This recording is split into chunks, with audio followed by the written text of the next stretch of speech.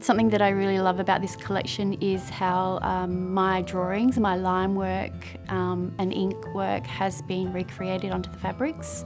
Um, it's really delicate and really emphasised too.